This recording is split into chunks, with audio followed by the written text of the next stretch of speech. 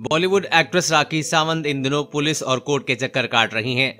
वो पूरी कोशिश कर रही हैं कि उनके पति आदिल खान दुर्रानी को जमानत न मिले। कुछ दिन पहले ही राखी ने आदिल को जेल भिजवाया था। जेल में रहने के बाद आदिल को पुलिस कस्टडी मिली। 20 फरवरी 2023 को राखी आदिल से मिलने गई और उन्हें उनके पति ने धमकी दी।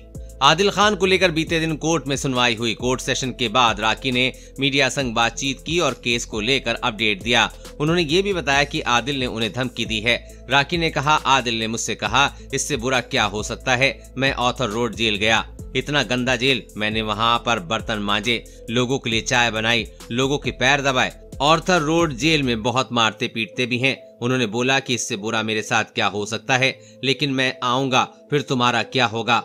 राखी ने आगे रोते हुए कहा, मैं उनसे कहा कि इससे बुरा मेरा क्या हो सकता है? मैं वैसे भी ज़िंदा लाश हूँ, न खाती हूँ, न पीती हूँ। शादी के बाद वो उस ईरानी लड़की को मेरी जान, मेरा लव कहते थे और कहा था कि एक दिन मैं राखी का सारा पैसा ले लूँगा और उसे छोड़ दूँगा। शादी हुई थी तो मैं इतना खुश थी, लगा था कि शादी हो गई। मेरा पति है और अब बच्चा भी हो जाएगा। देश और दुनिया की हर अपडेट पाने के लिए चैनल को सब्सक्राइब करें।